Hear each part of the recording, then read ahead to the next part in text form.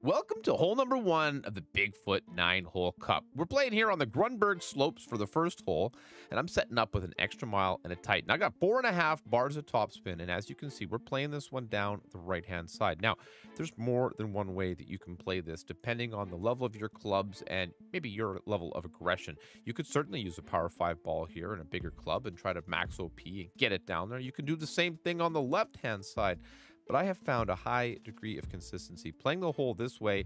And hey, even if you hit a little great ball, which, uh, you know, could be catastrophic with max overpower, this one seems to play nicely, quite safely, and gets us right down the middle of the fairway.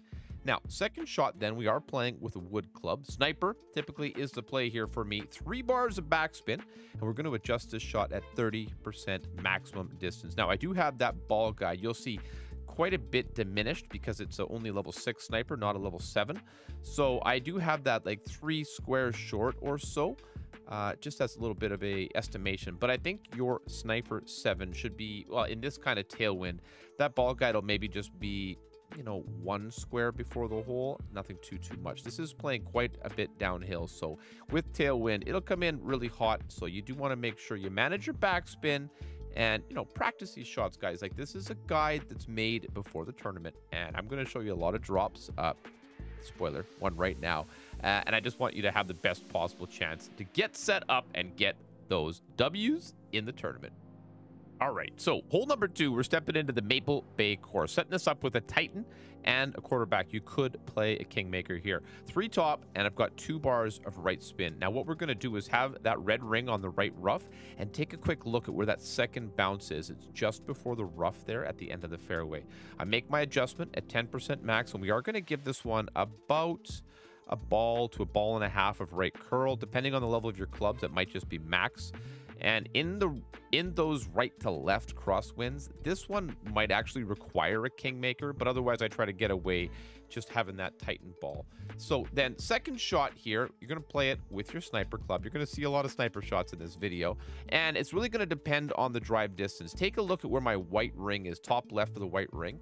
See how it's just about touching the rough there, and I've got that third bounce right on the fringe. In this scenario, it plays very, very well to give it just about a half a bar of topspin just keep in mind that we're going to have to make our adjustments according to the tournament wins. So this is a very, very awesome opportunity, though. This is one of those holes that I've dropped quite a few times. And hey, it's going to be a cool tournament. We're definitely going to have to spend a lot of big balls to get there. But I hope in this video you can see that you can basically succeed at the, the rookie level anyway. We'll see you on number three. So hole number three, this one is played on the Sequoia Creek course. I'm setting up with an APOC level one, three left, three and a half bars of topspin. You could just go three bars of topspin here. You'll see how close I come to the rough. This shot can also be played with the quarterback, and I think most players would play it with the quarterback, but I think it's fun here. If you have just unlocked the APOC, you don't typically get a lot of use out of it, and this is the kind of drive where we just need to use some curl.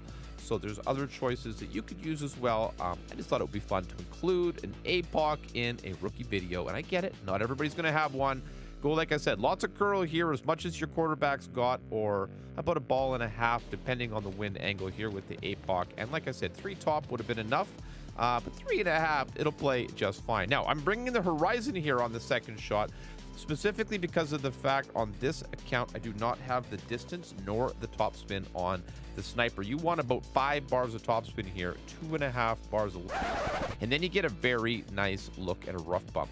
You could certainly bounce this ball from the fairway at the top down to the green. Uh, it really just depends on, on what you want to do. So I played that first drive at 10% max elevation. Second shot here, 10% max elevation. We'll make our clean pull here. And, you know, we're, we're landing on a slope.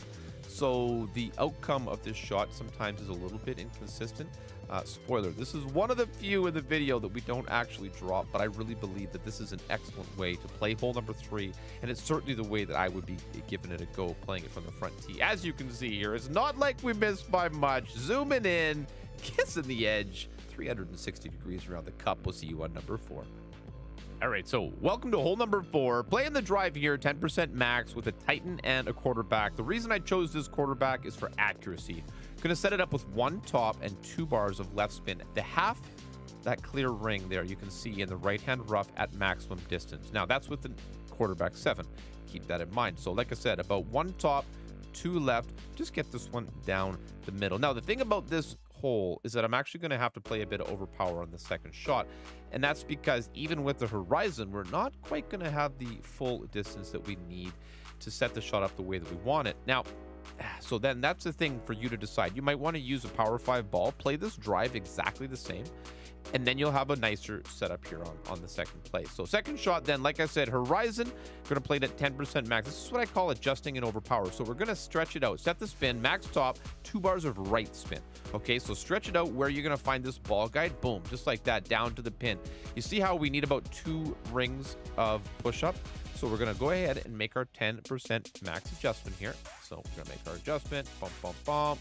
And here we go. Pulling. Beautiful. Okay. So then now we have to push up. We need those two rings, right? So as I push up, we're only going to get about one and a half push up before we hit overpower. So now we need about a half a ring of overpower here, as you can see. Guys, if you're getting value from these videos, please don't forget to hit that thumbs up button, subscribe to the channel. Don't miss out on all the live tournament Golf Clash content and tour play. And boy, I'm looking forward to this one in the live play. Come on, baby, get in the hole. We'll see you on number five.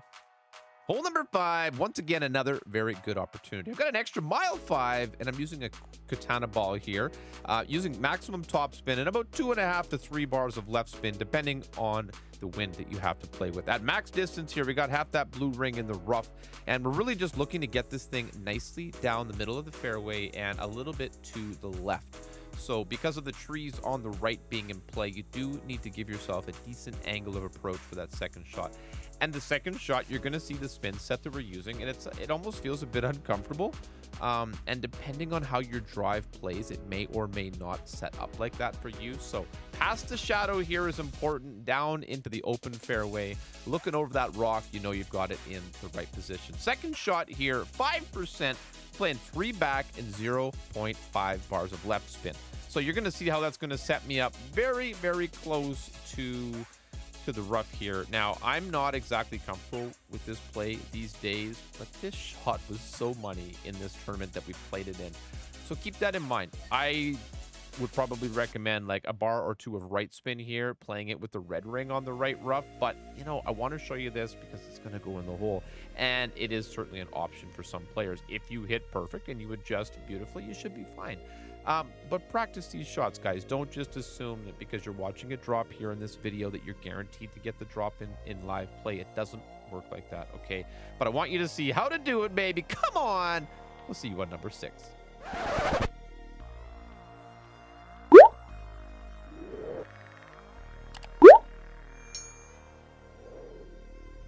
Hole number six, this one, you're really just playing for Eagle, unless you've got, like, you know, EM9 or something. I've got the Titan and the Extra Mile, max top and max right. That'd be four and a half bars of top spin, two bars of right spin. And I know some of you are going to see all those little bars of side spin, and you're going to leave those comments. This is older footage.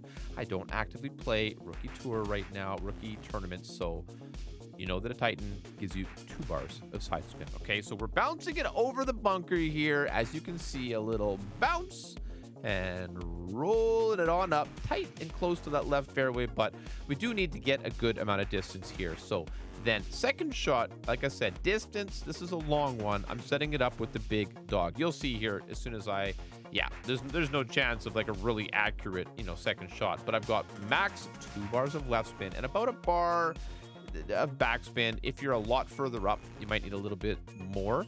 Um, and if you're needing to use a bit of overpower, just stick with that bar of backspin. I got a ball to a ball and a half of left curl here. You don't want to go too, too much. There are some bunkers up top here. You'll see as we just go right by them there. Uh, and we came a little bit close, so just mind the bunkers, but this should be an easy eagle if you just execute cleanly. Hole number seven, and admittedly, I'm going to show you a very low level and conservative way to play here. Still a long hole, but you probably could do a little bit better than this Quasar. I decide that probably a Titan ball for most players to get it down to that second fairway would be a very good play here. However, I did elect to play this conservatively, and I'm going to show you how that works out. You got max top, max left spin here, and I would set it up, you know, try not to have the yellow ring quite so close to the rough, Um, but again, if you're in a headwind or something, that wouldn't necessarily be too bad. I'm Going to use max left curl here with this club, which is like barely half a ball. And the idea being then that you're just going to bounce it on the first fair fairway here, over this rough, and roll it out as far as you can down the second fairway. What this does, though, is leaves you for a very long second shot. So due to that, I'm actually going to be using a big dog here. Now, if you had a really long drive, it's a different story. We might even be playing a rough bump to the pin. So otherwise, though, if you're playing conservatively, we're going to use that big dog, and I'm just going to bounce it to that small island fairway. One bar of backspin in even a reasonably aggressive cross tailwind here puts us in position beautifully. So half that red ring on the right there keeps us a little bit safe from great balls anyway, and you just want to hit this cleanly. And like I said, if you have a bigger, higher level situation here, we're probably going to be playing second shot rough bump, okay? So keep that in mind, uh, but there's more than one way to get this done. And from this position, you really do have a very straightforward red wedge, not a wedge. You got a wedge to work with, and I've got the dart here. Now, I still play the dart or um, any of the other low-level wedges with the same technique as the Endbringer school. And of course, I do recommend that if you have an Endbringer, play that club. It should give you, you know, a great advantage over your opponents. So you know, this is one of the ones where I don't have super duper modern footage to share with you that's going to be incredibly insightful. But, you know, if you are like me and you do tend to play these holes a little bit conservatively anyway, um, this would be a good option. So, you know, it is what it is. We're still going to get this ball cleanly in the hole for Eagle. And, uh, yeah, well, just about cleanly. We'll see you on number eight. Hole number eight, let's get this one for Shinobi. I'm setting up with a Titan ball and an extra mile, and I'm playing with one bar of topspin, one bar of left spin. And again, very fine margins here. Working with part of that yellow ring into the rough is always a scary thing to do. To alleviate that, you could certainly play this shot here with a rock or a quarterback, something with a nice bit of accuracy. You just want to make sure you do get enough distance up to the end of this fairway so that you'll have a nice reach on your second shot. But keep that in mind. There's more than one way to get it done. If you hit cleanly, perfectly here, especially with a nice wind that pushes us a bit away from that bunker, you should roll nicely up the center of this fairway. And if you do so, even with a low level sniper, you should be able to reach just fine for your second shot. Second shot here, we're playing with, with this with two bars of topspin and 0.5 bars of left spin. I'm going to have the top of that blue ring touching the rough here. And we're basically doing like a second bounce rough bump. So two top, half left. We're going to pull it back a little bit, set it so that that second bounce is just at about, you know, just above halfway up that rough and got that ball guide just to the pin this shot is so classic for me. I've played this one on stream quite a few times and had success here quite a few times as well. So I really believe that the same can be had for you. So practice this one. Sometimes the second shot plays 5%. Sometimes it might play 15. Um, but all in all, this is really an excellent way to play this hole. Get a great outcome. Let's go, baby. We'll see you on number nine. Hole number nine, this is a spicy one to end the tournament, but as you can see, there's going to be so many albatrosses. I'm setting it up here with the with a kingmaker and a quarterback, three top, three right, and you see where that second bounce is and the ball guide just rolling out onto the fairway, and then we're right here by this tree. So keep an eye on that. I pulled 20% max there. Now curl, about a ball, ball and a half, just outside to the right here, and the idea is is that this is going to give us a bounce and I'm not touching the rough at all, which you can, uh, and sometimes you'll clip it, but it might leave you a bit short. Keep that in mind. So work this drive out before you really commit to it. Second shot, if you've got enough distance. We bring the Kingmaker particularly because we need reach and we need left spin. So three bars of left spin here, and I've got two bars of backspin. I'm actually going to play this with the half that white ring, just touching the rough on the bottom. You see kind of where we're set up then.